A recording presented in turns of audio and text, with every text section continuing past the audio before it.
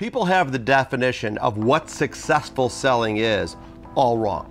See, in most companies today, bringing business in is no longer the sole responsibility of a designated sales force, and it's scaring a lot of people who are anything but comfortable with the process. Well, I have really good news. Winning client business and driving new opportunities are well within your control, even if you are a more technically focused or introverted personality. In this episode, I have five tools that work and can help any of you bring your business development success to an all new level. Welcome to Build Smart Connections.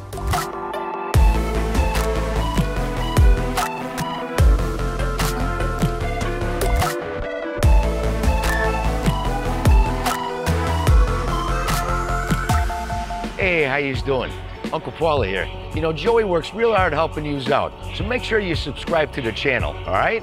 Or else your business might be sleeping with the fishes. Uncle Paulie coming on a bit strong. Hey, we appreciate you watching. Let's get right to the tools that work for improving your business development success. Number one, get your mind right. Eliminate the stigma of sales because in most companies, it's not really about being a cold call salesperson.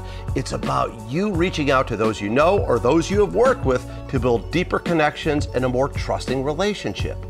Two, be a go giver. That's a really good book. I highly recommend it. It was given to me by a friend who also happens to be a client, and you can knock it out in short order. Well worth it most of us wince because we fear being perceived as that person who's being overly persuasive or angling for what we can get. Stop. Flip it.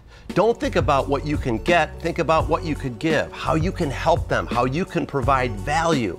And this includes supporting their business, connecting them with someone who can help them, and helping them personally with their career or personal goals.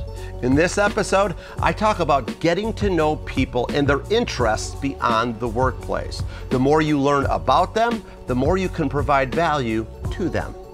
Three, find common ground. Now, I need to refer to another episode because so many of these are interconnected.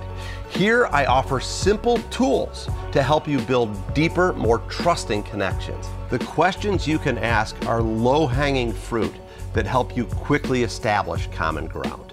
That's because common sense isn't common practice, Big Joe. You know what, little Joe? You're probably right. Four, pick up the phone. Yes, email is very useful, but I find that when you reach out to somebody by phone, the likelihood of a positive response is much higher. You know your connections and relationships, but remember this if you want your phone to ring, you have to make other people's phones ring. And five, own your value. Let me ask you a question and answer honestly. Do you focus more on your strengths or your weaknesses? Because way too many people focus on their weaknesses. Yet my guess is that you are ethical, you have a lot of experience, you have expertise, and you take pride in making a difference. So know it, own it, and don't think about selling, think about building deeper relationships and where you can provide distinctive value. Little Joe? Hey everyone, what other tips or strategies do you have when it comes to asking for the opportunity? Please put your comments below. Live it, love it, do it, profit.